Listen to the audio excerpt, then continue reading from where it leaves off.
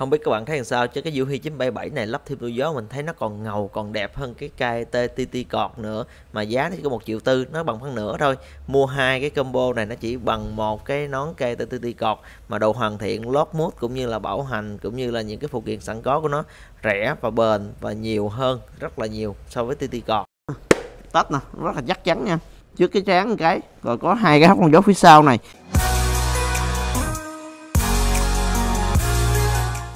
Chào mọi người trở lại Happy Channel. Hôm nay mình giới thiệu thêm một số cái màu của nón cây TT cọt. Hôm bữa là có giới thiệu một lần rồi mà còn sót bốn màu này nè.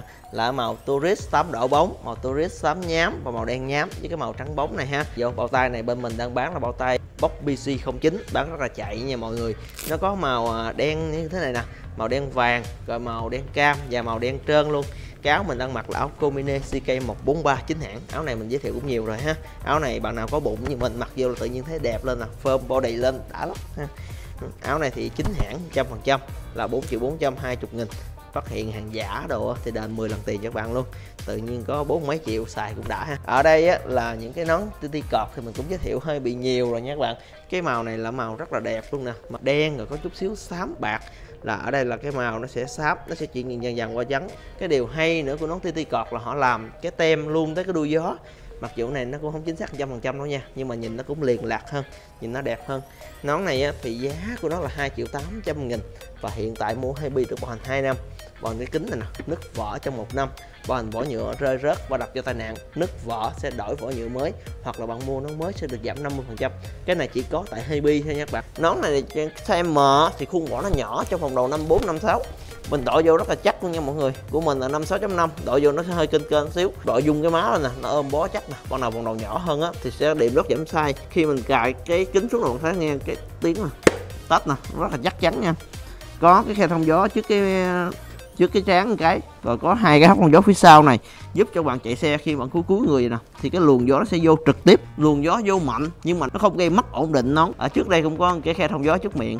Và cái nón này nó hay chỗ là thiết kế cái chỗ này nè, nó sẽ trơn trơn, nó sẽ dễ cho bạn gắn camera cầm không cần thêm những cái phụ kiện khác mà có thể gắn được. Màu này mình đánh giá là một trong những màu rất là đẹp, cực kỳ đẹp luôn ha. Đen, đỏ, dễ phối. Rồi, bên đây là, cũng là cái màu tem này luôn nha. Màu tem tourist, nhưng mà nó sẽ là màu xám đen. Nó sẽ dành cho những bạn nào mà yêu thích màu nhám tông màu chìm, nhưng mà không có chìm nghiễm là màu đen thui giống như bên đây. Còn này á, là cái màu xám xám, nó có thêm là cái tem bạc bạc như thế này. Còn đây là chữ KT đợi thử cho các bạn coi đi ha. Có nó đợi thực tế lên người làm sao. Rất chắc chắn là mọi người thấy mình lắc qua trái, qua phải trái phải, qua phải. Chứ nó không có bị, gọi là bị lệch cái pha chút xíu là có nghĩa là nó ổn định đó kính này bắt xuống cũng rất là kính gió nha không gì để bàn cãi hết rồi. Rất rất là kín luôn. Từ khi mà mình chuyển qua bán nón hiện đại thì mình ít ngó ngàng tới màu đen nhám bạn. Cái này thì ờ, mình nói nhiều quá, cái thông tin nó lọc lại nhiều, chắc bạn cũng nhàm. Nhưng mà mình cũng mong muốn các bạn hiểu là những cái bạn ở xa, người ta không có nhiều cái cơ hội để tiếp xúc hoặc là để đội thử.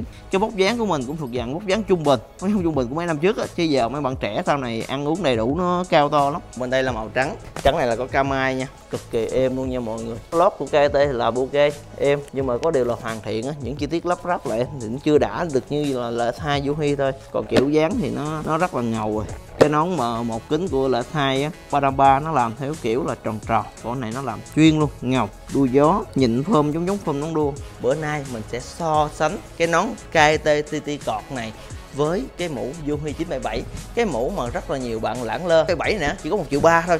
Nó không bằng một nửa giá tiền của mũ này nữa. Nó hoàn thiện, ok nha. Cái kính gió rất là kính gió luôn. Đó kiểu dáng nó khác biệt nha. Bạn nhìn nè, cái góc cạnh từ trên xuống nè. Ở đây nó ăn theo góc này á, thì ở đây nó cũng ăn ngược lên nè các bạn đó. nó có một cái đường sống đây đường sống ở đây và một cái đường sống trên đây nữa. Có thêm cái giả đuôi gió giống như thế này. Nhìn nó cũng rất là hay nha các bạn. Có chăng thì nó không được truyền thông quá nhiều thôi. Về bạn nào muốn kiếm cái mũ đạt chuẩn của châu Âu dày dặn có mút IPF bên má cực kỳ dày luôn. Lót của con này là dạng tổ ong nhìn nó đẹp chỉnh chu hơn. Đội vô từng cái từng cái cho coi đi. Cái này là con U2977 con này không có khóa đi rin nha khóa này khóa mai rulock đó, có thấy mình lắp cực kỳ mạnh không? Nó vẫn theo đúng cái chiều đợi đúng sai là nó vậy á.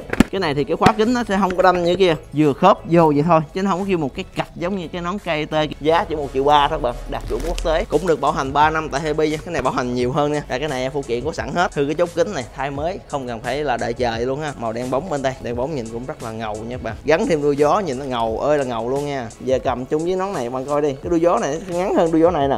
Do là mình cố tình mình làm cho nó lộ cái viền vàng vàng nè nhìn nó ngầu hơn nè. Không biết các bạn thấy làm sao chứ cái Yuhi 977 này lắp thêm đuôi gió mình thấy nó còn ngầu còn đẹp hơn cái cây TT cọt nữa. Mà giá nó chỉ có một triệu tư nó bằng phân nửa thôi.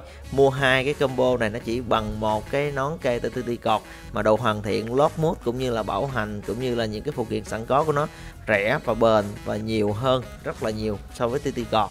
Cái lót đó mình sẽ tháo ra cho bạn coi nè. Tháo ra bạn sẽ thấy là cái nón một triệu ba nhưng mà cái độ hoàn thiện nó còn hơn của KT nữa. Mình à, không phải bây giờ mình bán KT mà mình nói như vậy. Ngày xưa lúc nó mới ra mình cũng đã cầm cái nón này lên mình nhận định rồi các bạn. Nếu các bạn chơi xe bạn sẽ thấy là cái con Yuhi này nó tương tự như cái phân khúc của Racing Boy đang chiếm lĩnh đó. rẻ đẹp mà có thương hiệu. Còn lót này nè.